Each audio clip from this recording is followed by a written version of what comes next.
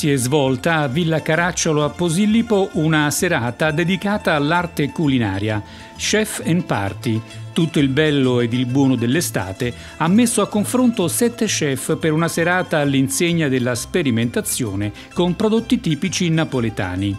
Bruno Sganga è un famoso enogastronomo, ci parli proprio di che cos'è questa serata? Allora, eh, battuti a parte la serata l'hanno chiamata in effetti Cenerentola perché nelle sue origini doveva terminare a mezzanotte, siccome siamo a Napoli dove ognuno di noi splendidamente ha vivacità interpretative degli orari diversi, sarà una Cenerentola riformata in termini moderni, ma che cos'è sta il bello?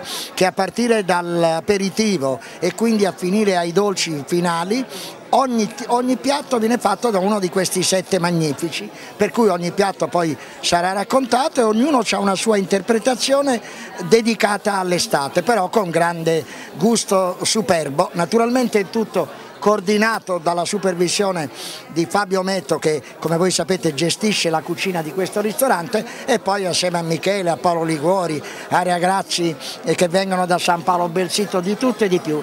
Sicuramente una notevole occasione anche con dei vini molto interessanti è tutto dovuto poi a dei sostenitori che sicuramente tu avrai modo di sottolineare. Tanti partecipanti che hanno potuto godere dello spettacolo offerto dal Golfo di Napoli.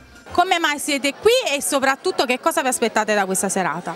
Allora, noi siamo qui come sponsor, ehm, la location è bellissima, ci aspettiamo tante cose buone. Sappiamo che sono degli ottimi chef, i migliori, quindi siamo qui proprio per questo. Cosa vi aspettate da questa serata? Ci aspettiamo come in altre occasioni di provare qualcosa di diverso preparato da, da, da professionisti anche se uh, diciamo, non ancora conosciutissimi e quindi ci aspettiamo di mangiare bene. Io a Villa Caracciolo sono di casa perché ho organizzato due edizioni di O Master e Chef. Ci siamo molto divertiti e abbiamo mangiato bene, per cui mi aspetto la stessa cosa, divertimento e una grande abbuffata di cose buone. Allora Silvio, che cosa si aspetta da questa serata? Allora, di divertirmi innanzitutto insieme agli amici ospiti, ma soprattutto di vincere il premio finale quella fantastica Porsche che è stata... Ah sì, eh, questa, questa, è una novità, quindi uno scoop per la sera. Cioè, vi vedo perplessi, non è così. Ma se lei ha questa notizia mi vado a informare. Noi, a noi ci hanno detto di comprare il biglietto e tutto, nell'ingresso era compreso di questo sorteggione eh, finale, no, non è così. Vabbè, ci andremo sicuramente a informare perché la cosa interessa pure me. Allora sicuramente divertimento questa serata un po' particolare. Allora, in bocca al lupo! chef and party, cioè un conviviale gioioso di inizio estate, quest'estate che tarda ad arrivare e stasera che incomincia con, questo, con questa festa che vuole essere solo un modo felice di essere assieme. Qui non si celebra la grande gastronomia, si celebra il, bu il buon gusto e la gioia di essere assieme condividere la tavola, condividere dei buoni piatti di sette grandi amici, sette grandi chef. Questo il menù presentato dagli stessi chef. Si è iniziati con la frittura napoletana del Seicento del maestro pizzaiolo Gianfranco Iervolino di Villa Giovanna di Ottaviano.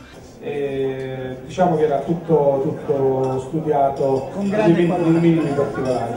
Grazie. È stato eccellente, grazie a te. Allora, a seguire il manicaretto Donanna dello chef Fabio Ometo, resident di Villa Caracciolo.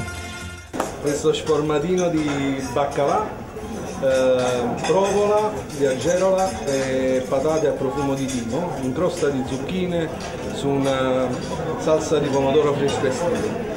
Un piatto leggero, spero sia stato di vostro gradimento. Michele Grande della Bifora and Ruffin Sky di Bacoli ha presentato i tre bocconi. Sono tre impasti totalmente diversi, tutti quanti fatti da noi. Si parte, si parte dal, dall'impasto uh, verde che è quello al basilico e uh, con questo gambero crudo appunto e una crema di melanzane. Quello centrale erano uh, impastato appunto con il nero di seppia, io lo chiamo il panino incavolato no? perché sta sempre un po' nero e all'interno una frittatina di, di cozze. un po' di menta per dare freschezza, si conclude con pomodoro, peperoncino verde e um, alici fritte. Paolo Gramaglia, de il presidente di Pompei, ha preparato il primo un tuffo dal Vesuvio a Posillipo.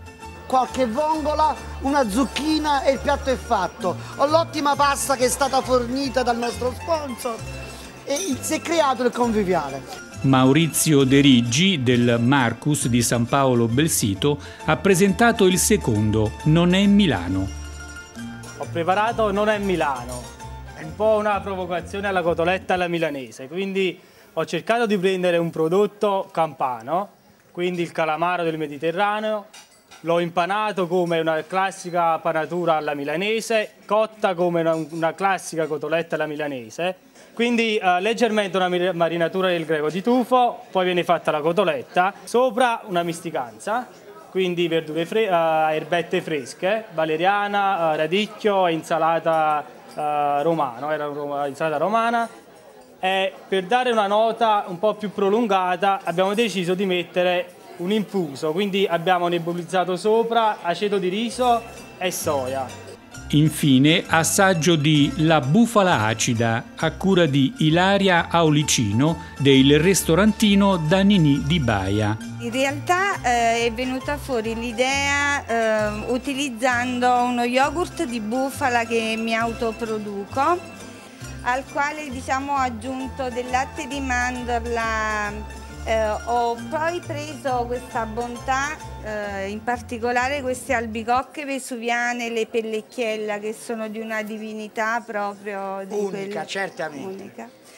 E quindi l'ho poi ehm, prodotti in una forma di coulis, quindi una salsa leggera e poi per completare il piatto e dargli con croccantezza eh. ho fatto questo streusel alle mandorle. Ah, ecco eh, al quale poi abbiamo aggiunto un po' di pepe White Voice Perry del Madagascar, che ha questo sentore poi fresco.